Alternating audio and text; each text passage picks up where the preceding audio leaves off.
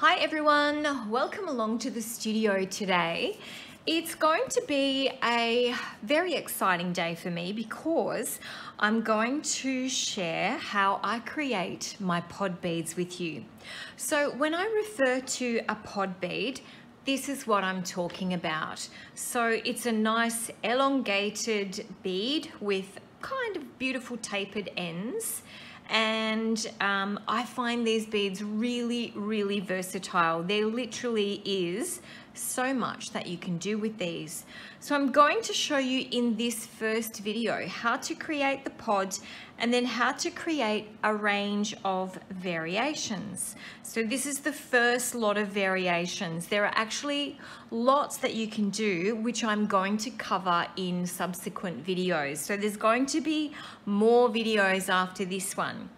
I just wanted to show you this little guy because I refer to this as a sea urchin spine, which it is, and this was the inspiration behind some of the shapes that I create. So when I refer to, um, you know, a sea urchin spine shape, that's kind of what I'm talking about. So I just wanted to show you that because I have confused some people in the past with that one. All right, so let's just put these to the side. Let's get those out of the way. And I'm going to show you how I start to create my pod beads. So I'm simply going to start by running my clay through the pasta machine on a medium thin setting and I'm working with a mix of Kato and Premo clay. The reason I'm doing that, I'll explain it to you. The reason I'm doing that is because I like the mix of the two clays together. I find Premo's way too soft. Kato can be sometimes a little on the firm side. So by mixing the two together, I get a beautiful, delicious excuse me, consistency that works really, really well for creating these beads and manipulating the shapes. So on we go. That's why I use the mix of Kato and Premo.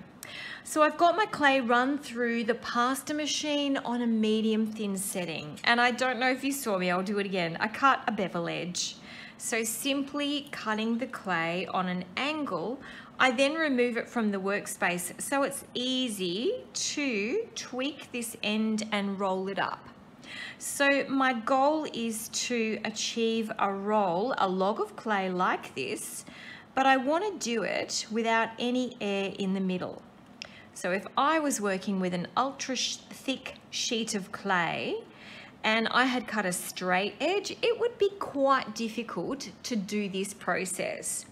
So this is why I create a bevel edge and then I create a nice log of clay, bit of pink in there, not really worried about that too much.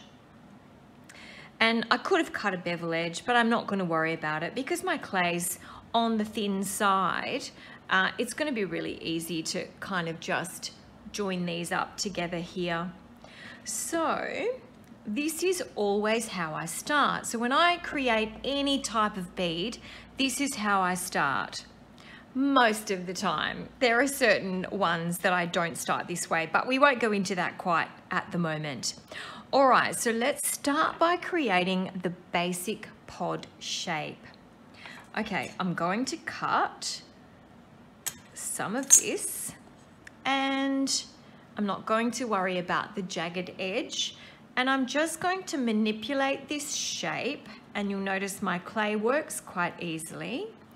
And I'm just going to compress the clay, smoothing a little as I go. But I don't need to stress about that too much because it will get smoothed out in the um, shaping process. So kind of create pointed ends already. If we have too blunt an edge, like if we're working with this edge, we need to make sure we taper it before we start shaping these beads. All right, so let's just get all these out of the way. I'm actually going to start by rolling on my work surface and I'm using this part of my hand. So I'm not going straight across, I'm on an angle and I'm simply rolling this way. You can roll back and forward.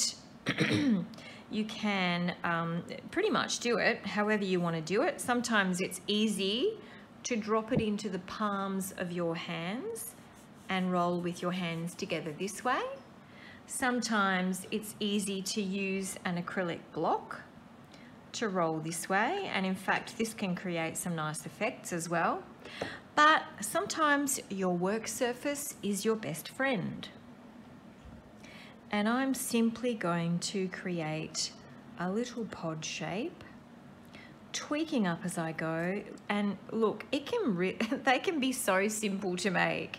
Quick and easy. That's what we love about them.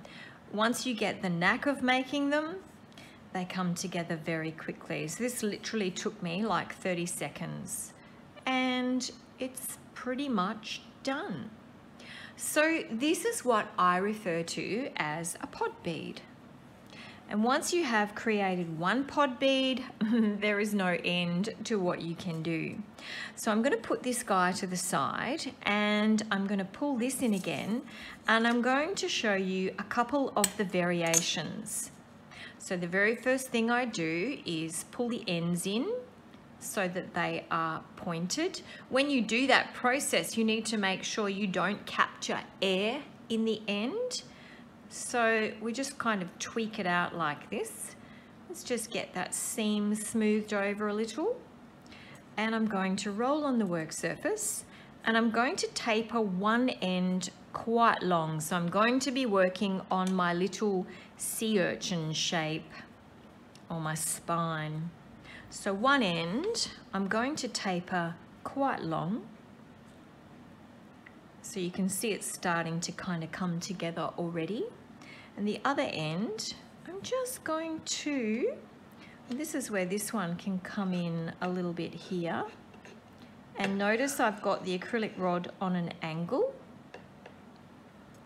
And you can kind of create if I just use that to soften the top look at that beautiful shape so we've simply gone from this one to this one so, nice and easy little process. Let's do a different color.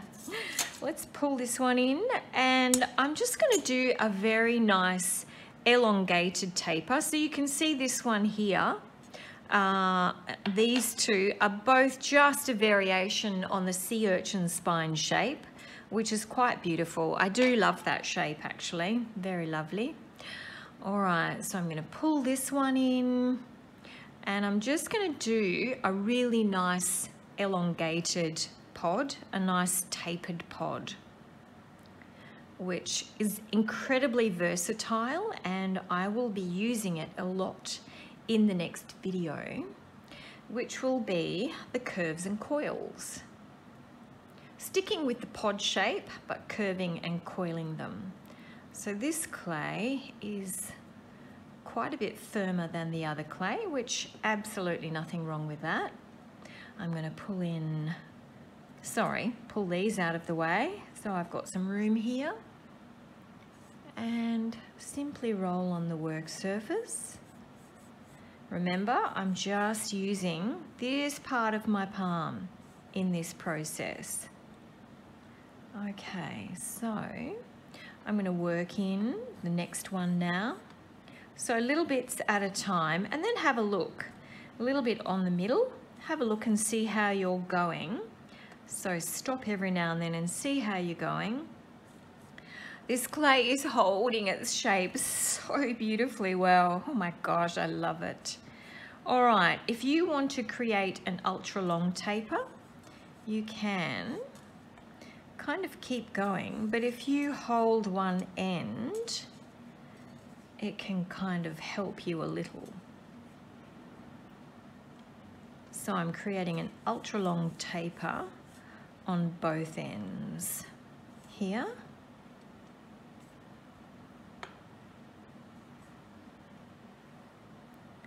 Right. Yum, yum, yum. I love these. So really, really simple process to create some delicious pod beads. but wait, what if I've made this too long? So I think, hmm, I'm not sure if I like it that long, although I love it that long. I'm not sure I like it that long. I think I want to make it a bit shorter. So you don't have to chuck this away or scrunch it up or whatever. Simply compress your clay. And because I'm working with a nice firm clay, it's a really easy process. So I'm just pushing it in. I'm pushing this hand and the clay in this way. So look how I've managed to shorten that up already. And if you, uh, if your ends are too sharp, fold them over and scrunch your clay up together like that. Oh, let's keep him that long. So I'll just that's really all you need to do is just compress your clay and all is not lost you can reshape from there. So simply on the work surface again and reshape. Although I do like the very long taper so we'll just give it a nice long taper again. And back the other way. So lots of different ways you can create a simple pod shape just by tweaking up a few little things during the uh, the you know the rolling process. So there you have it. That is our very first um, video on working with pod beads and creating these gorgeous pod beads.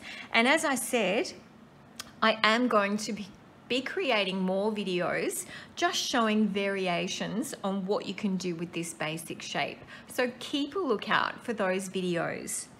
Okay, that is it from my studio today. So thanks so much for joining me and I'll see you again soon. Thanks guys. Bye for now.